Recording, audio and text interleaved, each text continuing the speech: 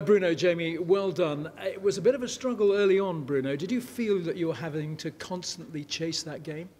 Yeah, it was a it was a big battle there. I think both sets we started uh, down a break, uh, but I thought we competed uh, really well. We hanged in there.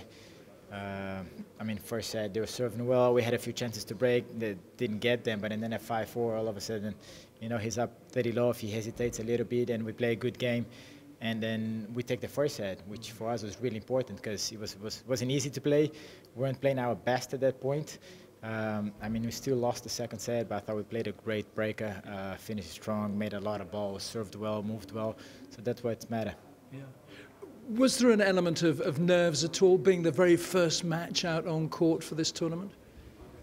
I mean, I, I didn't feel like particularly nervous, but I think like first match for everyone in the in the event, everyone's a bit more on edge. Like you're a bit more calmer once you've played matches, and you're more kind of used to the setup and the, the conditions. And of course, no one wants to lose the, the first match because it puts you under under pressure right away for the rest of the tournament. But um, like Bruno said, we fought really hard. Like it was it was a battle, you know.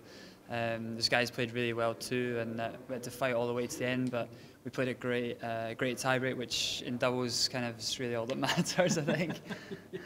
Uh, any things you'll be looking to work on ahead of the next uh, match that you, you think could, could do with a, a little bit of improvement?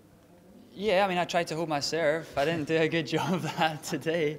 Um, but, you know, it can happen. I mean, every time I play Raven, like, I feel like he's always making so many returns and it puts me under a lot of, uh, a lot of pressure. And, you know, I hit some amazing, like, wide serves, but he was there and he's so fast and, um, you know, we, it's just, that's, that's it. You know, these guys are good. Like, it's no, uh, no guarantee of anything.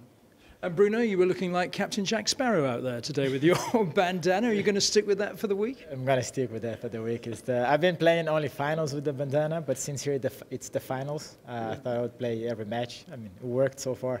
Great. Well, best of luck for the rest of the week. Thank, Thank you. Thank you. Thank you.